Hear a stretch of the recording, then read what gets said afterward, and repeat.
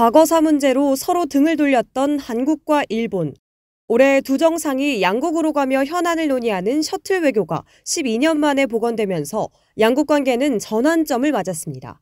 우리 두 정상은 한일 관계 개선이 양국 국민에게 큰 이익으로 돌아온다는 점을 확인하고 앞으로도 더 높은 차원으로 양국 관계를 발전시켜 나아가는데 합의했습니다.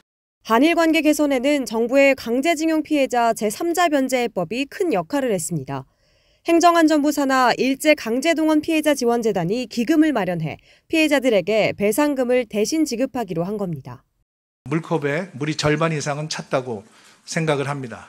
그리고 앞으로 이어질 일본의 성의 있는 호응에 따라서 그 물컵은 더 채워질 것으로 기대를 합니다.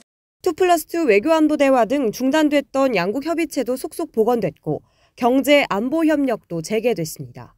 2019년 당시 일본의 종료를 통보한 한일 군사정보보호협정 지소미아를 완전 정상화하는 공문을 보냈고 6월에는 일본 정부가 우리나라를 4년 만에 수출 심사 우대국 화이트리스트에 포함하면서 우리나라에 대한 수출 규제가 모두 풀렸습니다.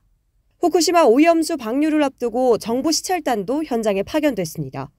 한일 정상회담에서 양 정상이 시찰단 파견을 합의하고 기시다 일본 총리가 한국 국민에 악영향을 주는 방류는 인정하지 않는다고 밝힌 데 따른 겁니다. IAEA 회원국 중 일본 현지를 직접 확인하는 것은 이번 한국 사례가 최초이자 유일합니다. 올해 양국 정상이 만난 횟수는 총 7차례. 얼어붙었던 양국 관계가 해빙기를 맞으면서 한일 협력은 더 강화될 전망입니다.